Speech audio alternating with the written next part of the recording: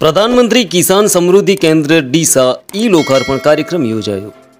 બનાસકાંઠા જિલ્લાના મુખ્ય વેપારી મથક ડીસા શહેરમાં આવેલા એપીએમસી ડીસા મુકામે વન નેશન વન ફર્ટિલાઇઝર યોજના અંતર્ગત જીએનએફસી સંચાલિત પ્રધાનમંત્રી કિસાન સમૃદ્ધિ કેન્દ્રનું ઈ લોકાર્પણ કાર્યક્રમ યોજવામાં આવ્યો હતો, જેમાં ડીસાના ધારાસભ્ય શશિકાંતભાઈ પંડ્યાના અધ્યક્ષપદે યોજાયો હતો.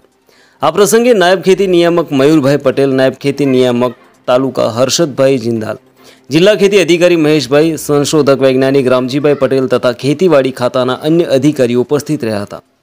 કાર્યક્રમની શરૂઆત જીએનએફસીના જિલ્લા ઇન્ચાર્જ આર એમ મેવાડા દ્વારા પ્રધાનમંત્રી કિસાન સમૃદ્ધિ કેન્દ્ર વિશે સંપૂર્ણ માહિતી આપવામાં આવી હતી. ત્યારબાદ મયુરભાઈ પટેલ દ્વારા કેન્દ્ર ખેડૂતોને વધુ કઈ રીતે ઉપયોગી બની શકે તેની માહિતી આપી હતી. આ કેન્દ્ર દ્વારા ખેડૂતોને તમામ પ્રકારની સેવાઓ આપવામાં આવશે જેવી કે તમામ પ્રકારના ખાતરનું વિતરણ જંતુનાશક દવાઓ, બિયારણો, જમીન તથા પાણીના નમૂનાની ચકાસણી.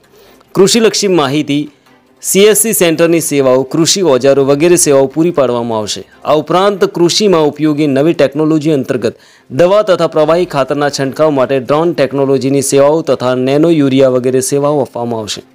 આ પ્રસંગે બસોથી વધુ ખેડૂતો હાજર રહ્યા હતા. કાર્યક્રમનું સફળ સંચાલન જેએનએફસીના અધિકારી શ્રી ભાવિન પટેલ, હેપિન પટેલ દ્વારા ગાંધીનગરથી વધારેલ શ્રી આર એમ પટેલના માર્ગદર્શન હેઠળ કરવામાં આવ્યું હતું, જેમાં મોટી સંખ્યામાં ખેડૂતો ઉપસ્થિત રહ્યા હતા.